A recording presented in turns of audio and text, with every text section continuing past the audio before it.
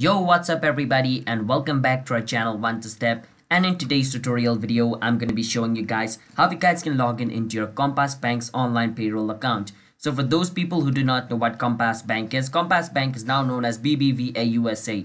So basically in June of 2019 BBVA Compass was renamed as BBVA USA. Alright, so now it is not just BBVA, it is now also known as BBVA and USA. USA is added. I don't know why they did that but you know it is what it is and who is Compass Bank is basically the 104 billion asset based in Houston and is a unit of Spain's Banco Bilbao's which is Argentina. It was formed known as Compass Bancshares, which is a Spanish banking giant acquired in 2007 and rebranded first as BBVA Compass and later BBVA USA.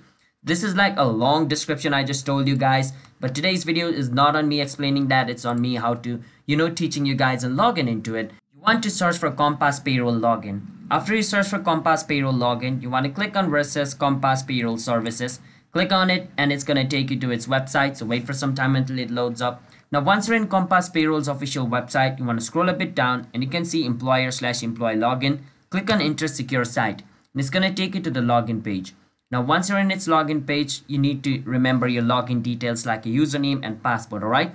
So the loading of the page might take a bit of time. Once it loads up, you need to enter your login detail over here where it says login. Once you enter your username, you need to enter the password of your account.